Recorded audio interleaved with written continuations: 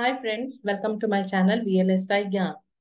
Today in this session, we will see how to run a program in Verilog program in Vivado tool, Xilinx Vivado tool. So friends, here I have Xilinx Vivado 2018.2 version. Newer versions are also available. You can check and you can download. Uh, so here we will see how to use the tool. So first of all, we need to double click on the icon which is present in the desktop. And uh, we'll take a simple example of a multiplexer, 2 is to 1 multiplexer. Uh, and we'll see how to write the Verilog code in this tool and how to simulate uh, using a test bench. So friends, as we know that it is a, a multiplexer is a simple circuit where we have multi many inputs and a single output. So based on the select line, a particular input is selected and we uh, transmit that to the output. Okay. So after this, after double clicking, we get this page. So in the left side, we have quick start. Below quick start, we have create project. So as we are creating the project for the first time, we are not get opening any project which is already created. So we'll click on this icon, create project. Click on it. Then click next. Give the project name. So I will give the project name as multiplex. Next, select RTL project. Next, you can clear, uh, you can add a source here or you can add after creating the project in the editor also. So next, add constraints. You can add later also. So here also we can click next. This is for selecting the board which are there in the Vivado tool. If you want to dump the code into the FPGA, that time you need to select the specific board and specific part of that board. So as of now, we will click next. Then finish.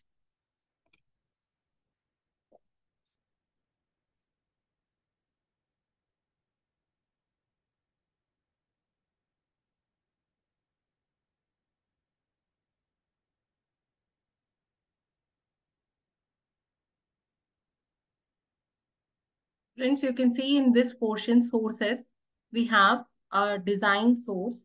So we click on it and we can click plus symbol. Now it is asking for add or create design source. So we'll click here, create file. You can give the name of the file. So let us give multiplexer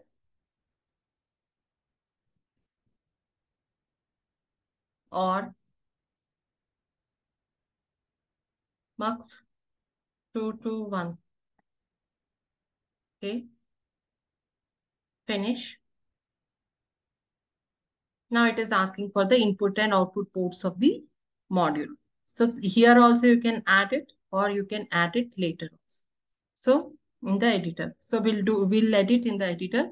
So I will click here, OK. Again, OK. See here, it is showing updating. And after that, we'll get a file over here below the design. Yes. So we got the Verilog file, mux221. Double click on it. And on the right side of the screen, you can see a module definition is created. Now we will add the code for it. So it is a mux, 2 is to 1 mux. As we know that for a 2 is to 1 mux, we have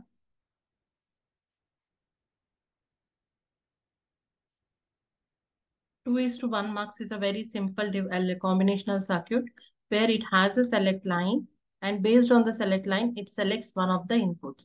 So here, here two inputs are there. Suppose I will take I naught and I1. Then based on the select line, it selects the output. And suppose our output is Y. So when S is 0, when S value is 0, that time it will select I naught to the output. So output will be assigned I naught. And when S is equal to uh, 1, that time I1 will be selected and it will be given to the output. So we'll write the code accordingly. So our inputs are, let us take I naught, I1 are our inputs and we have a select line that is S and we have an output that is Y. So this is all about the module ports. Next, we'll declare the ports. Input. Inputs are our I0, again, same, I0, I1 and S. Right? And then we have an output. Output is Y. I'll take a simple uh, assign statement. As we have seen, when S is 0, then Y is assigned I naught. And when S is 1, Y is assigned I1. So I'll take that one. Assign Y equal to checking the condition for S, value of S, whether S is 1. If S is 1, it takes I1. Else, it takes I naught. Simple assign statement. End module. You can see here on the right side corner of this editor that a green uh, symbol is there, green box is there, which indicates that there is no error in the code. Now, at the top of this, you have a save option. Click on it and your file will be saved. So as we all know, we need to simulate the code now by giving the inputs. So there are two methods. You can simulate this code also, or you can write the test bench. So it is always a good practice to write the test bench. So we'll go to the sources again, sources box. And here we have the simulation. So click on the simulation source and again the plus symbol. And now add or create simulation sources. Next, create file. Give the file name. So we'll give mux 221. And here I will add TB for the test bench. Finish. Again, it will ask for the ports that we will mention in the code itself in the editor. So now again, it is showing updating. Now you can elaborate this one and you can see that we have 2 to 1 mux TB is generated. Now we click double click on it and you can simply write the code as how you have written for the module. So here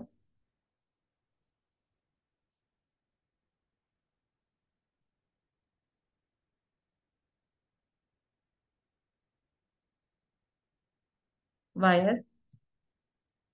Y reg the inputs are reg declared as reg in the test bench. So i naught i1 and s. The three inputs while y is our output. Now we need to instantiate our top module. And the top module name we have given is mux 221 so 221 and we can take here unit under test DUT or any other name, whatever you want, you can take it.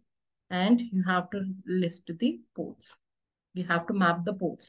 So here we have taken the same ports. So no need to worry about it. But if you are uh, writing another names, then you need to be very, uh, you have to check properly that you are mapping the correct ports.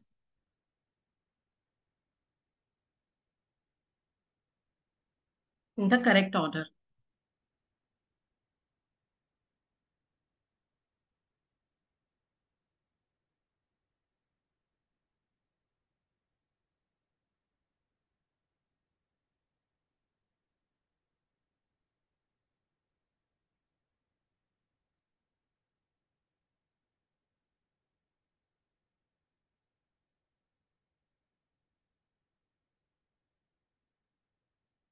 We need to put dot in front of every port mapping. Every time it will show you whether is there any error or not in the code, whichever you are writing at that particular moment, right? Now it's time for giving the stimulus. So I'll take the initial begin. Then initially we will assign every input as one tick B0, initialize to zero. Then also I1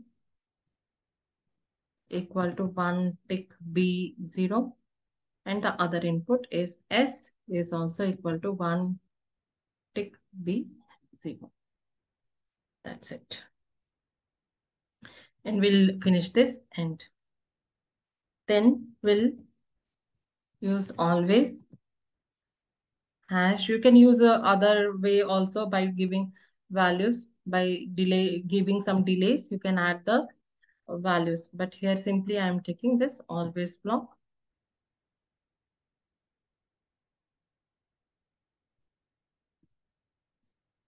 Again, always hash 20. Let us take 20. I1 equal to not of I1. So values are complementing after some time. So we can change, see the difference in the waveform. Always hash 10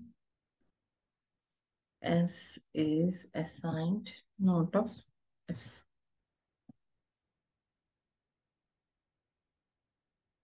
Right? Initial begin.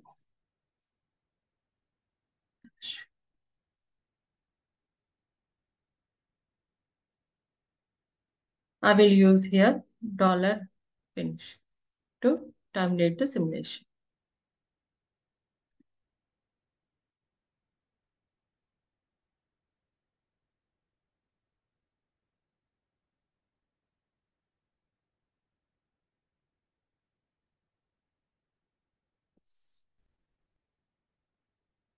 It is showing one error.